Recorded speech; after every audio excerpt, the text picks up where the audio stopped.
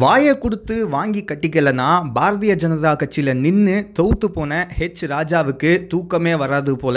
அவர் எப்பவுமே ஏதாவது ஒரு சர்ச்சையை கிளப்பி விட்டுக்கிட்டே தான் இருப்பாரு. ஸோ அப்படி இப்போ ஒரு சர்ச்சையை கிளப்பி விட்டுருக்காரு. டிஎம்கேல மதுரையில நின்று பிடிஆர் தியாகராஜன் அமோகமா வெற்றி பெற்று இப்போ அவருக்கு டிஎம்கே நிதித்துறையை கொடுத்துருக்காங்க.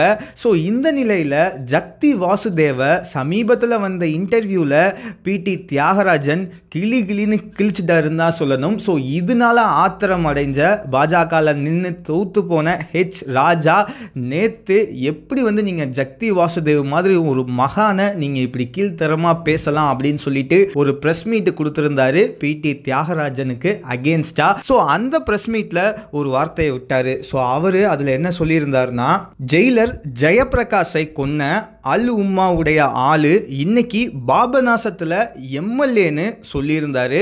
ஸோ பாபநாசத்தில் டிஎம்கேல போட்டியிட்ட ஜவஹர்லுல்லா இதை கேட்டு செம்மவே கடுப்பாயிட்டாரு. ஸோ அவர் இப்போ ஹெச் ராஜாவுக்கு எதிர்த்து அவதூறு வழக்கு தொடுப்பேன் அப்படின்னு சொல்லியிருக்காரு.